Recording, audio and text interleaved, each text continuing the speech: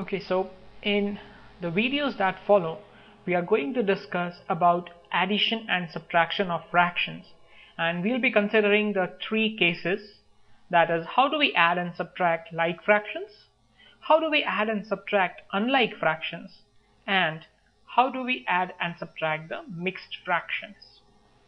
So let us start our discussion on addition and subtraction of fractions by using the case of like fractions.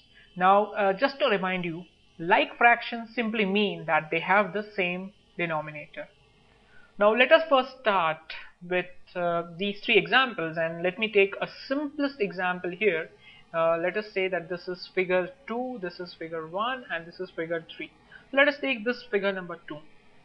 How many fractions, I mean if I want to represent the shaded part as a fraction, how, how do we do it? So it is straightforward since we have two parts out of four parts.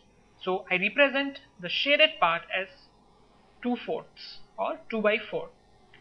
Now there is another way to look at how we arrived at this 2 by 4. So what I can say is what if I consider just one part individually that is I will consider first this part if I were to consider this part then how much how, how will that be represented as a fraction? So we will write that as 1 fourths or 1 1 by 4 now we are going to consider the other part that is this one. And how do we write it? We write that also as 1 by 4 now do you see a connection here?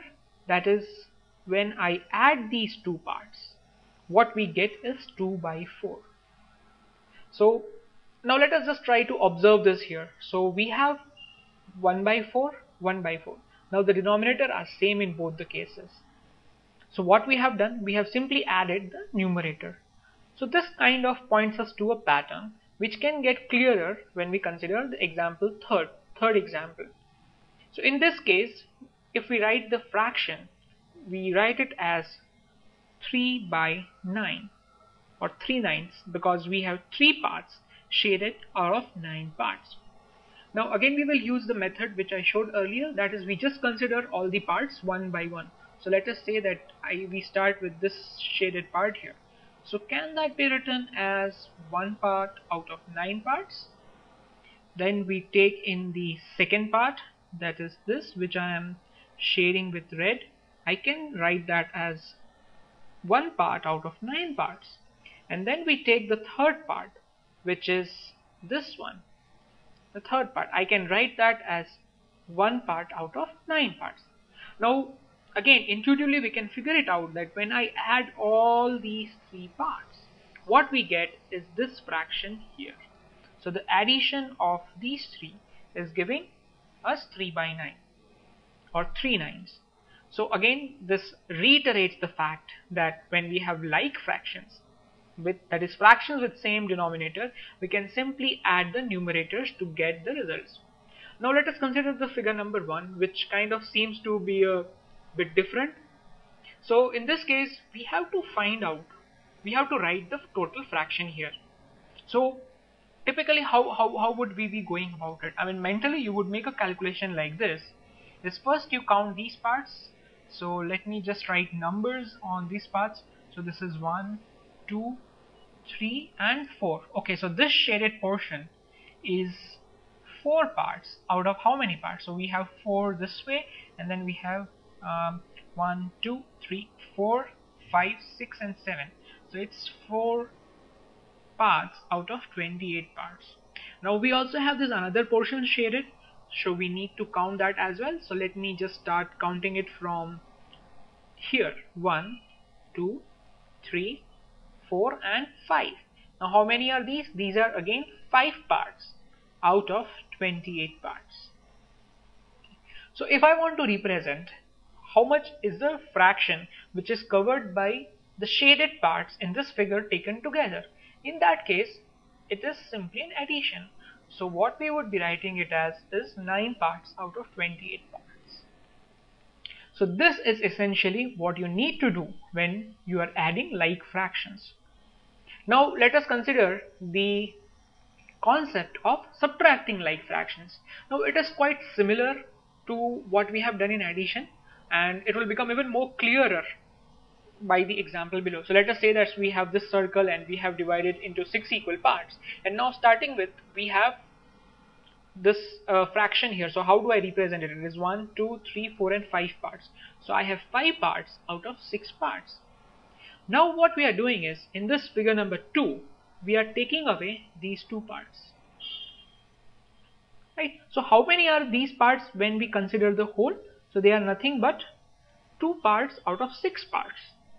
So we had five parts we are taking out two. So how many are remaining? It's nothing but the three.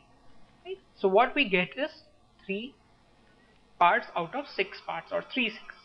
So do you see a relation here? The relation is simply a subtraction that is we are just subtracting the numerators when the denominators are same. So this is what we should be following when we subtract like fractions. That is, we can simply subtract the denominator.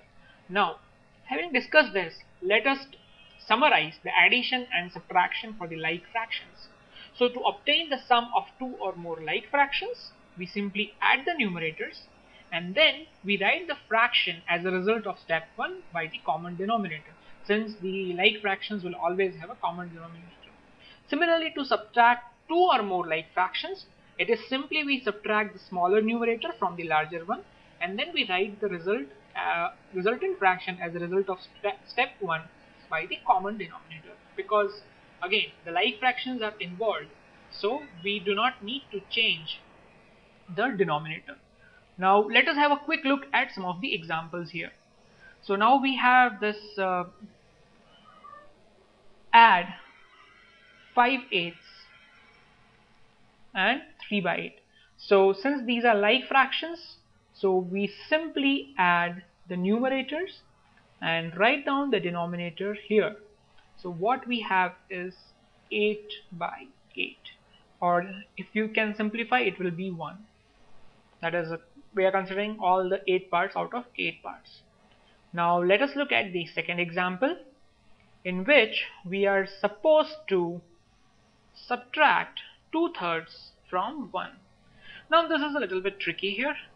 So what can we do to convert this one into a like fraction? Now it is something what we did here. So 1 we wrote it I mean the 8 by 8 could be written as 1 so one good thing about having unity or 1 is that we can manipulate it a bit. So what we can do here is we can write 1 as 3 parts out of 3 parts. So 1 is nothing but the whole. And you can divide whole into number of parts. And how you divide uh, how, how you figure out 3 based on this denominator here. Because you want to convert it into a like fraction. So now our problem becomes easy for us. So we have to do minus 2 by 3 now following the discussion earlier, we simply subtract the denominators, uh, the, sorry, the numerators and keep the denominator as common. So in this case, we have one thirds. Now, if you just see even intuitively, you have two thirds and you are just, you want to subtract two thirds from a whole. What is going to remain? It's just the one thirds. So that is what, is just an intuitive uh, calculation that you can do. Now let us take the other one. In this case we have to subtract 12 by 5 from 3. Now this is a little bit tricky in the sense that what can we do to get 5 in the denominator because we know that if we have like fractions our calculations become very easy. So can we do one thing? This 3 we can find out an equivalent fraction for this 3 such that the denominator is 5. So I can do that calculation here. 3 can be written as 3 by 1 and now since this is 1 I know that when I multiply the denominator by 5 I'm going to get 5 as the denominator. So the 3 must also be multiplied by 5 and in that case we are getting 15 by 5. So now we can write 3 as 15 by 5 minus 12 by 5 and now our work becomes much easier. So we just subtract 12 from 15 that is subtraction of the numerators. We write the denominator as it is. And the resultant answer is 3 by 5 and now we come to the final example in which we have to subtract 12 by 15 minus 7 by 15 now this is a straight case in which you can simply subtract the numerators and write retain the common denominator.